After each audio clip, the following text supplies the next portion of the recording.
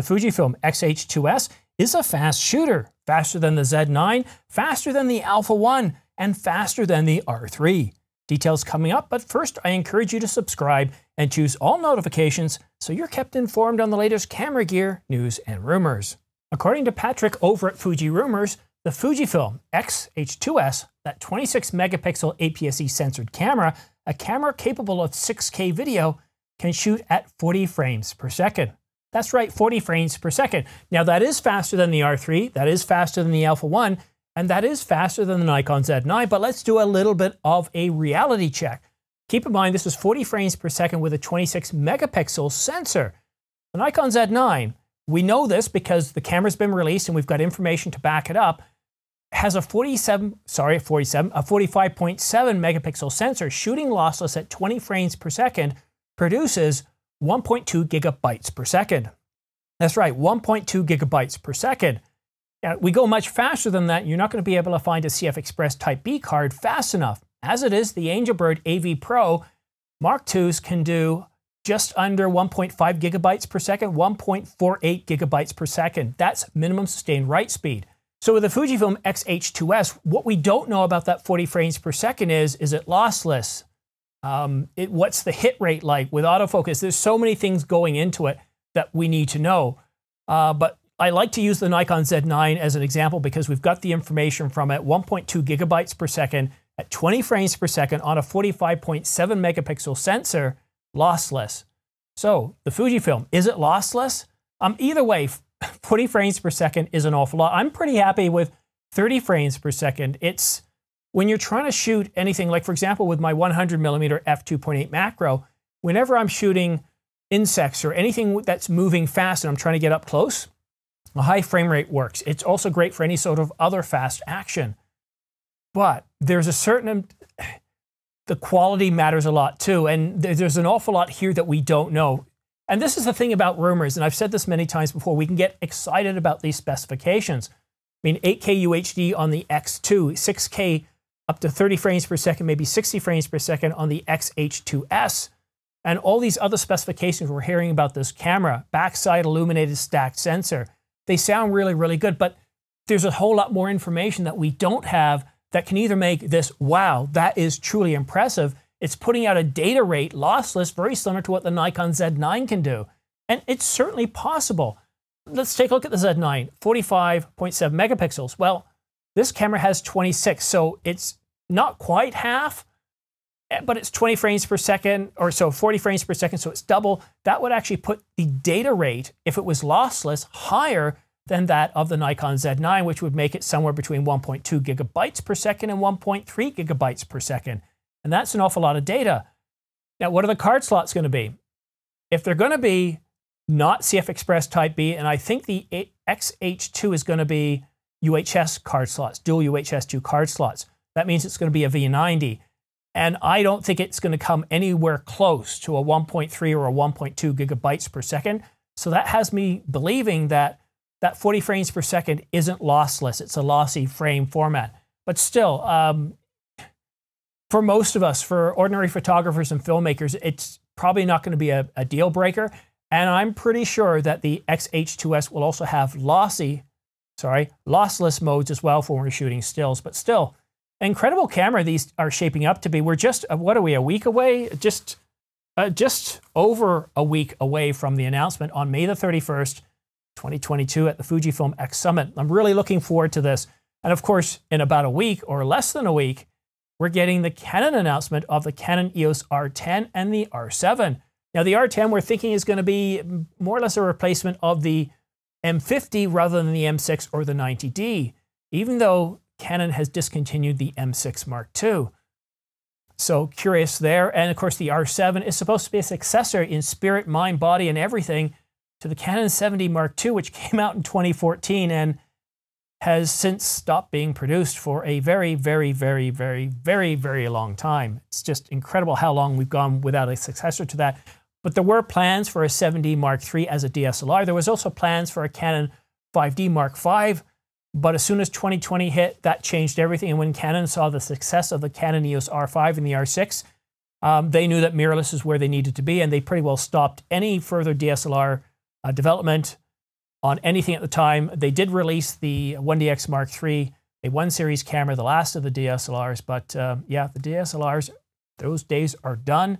Um, and Canon was one of the last of the holdouts. Although they are still selling an awful lot of DSLRs. You'd be surprised at how many DSLRs Canon is still moving around the world. Anyhow, if you want to stay up to date on the latest news and information regarding the Fujifilm X-H2S, the HX2, or the Canon R10, R7, or any other camera, go ahead and subscribe, but make sure you choose all notifications because by choosing all notifications, as soon as I publish a video, you're going to get dinged letting you know I've just published a new video so you can stay up to the date, up to date on the latest camera news and information. But that's it for now. Thank you so much for watching. We'll see you again soon.